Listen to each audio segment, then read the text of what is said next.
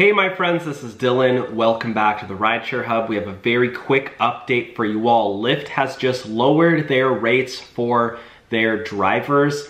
They uh, just did this about three days ago, so we're gonna show you guys the update so we are all on the same page. Here it is. The update reads, fuel surcharge changes coming September 28th. The temporary 55 cent rider fuel surcharge ends on September 28th. We know fuel costs still matter to you.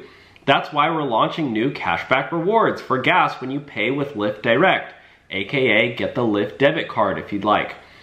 Which in my opinion, I went looked into it, it's 1% cashback on select gas stations, which in my opinion is kind of a joke.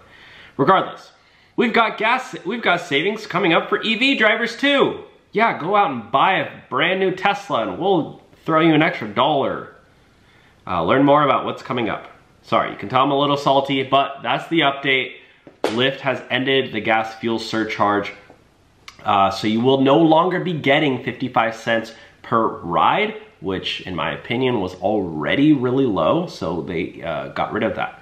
So there you have it, my friends. That's the update for Lyft drivers. If you'd like to go out and get guaranteed pay as a Lyft driver, you can sign up for an app called Solo down below and they will be sending you $10 as a watcher of our videos using our link below. Sign up, link your gig account. Thanks for watching.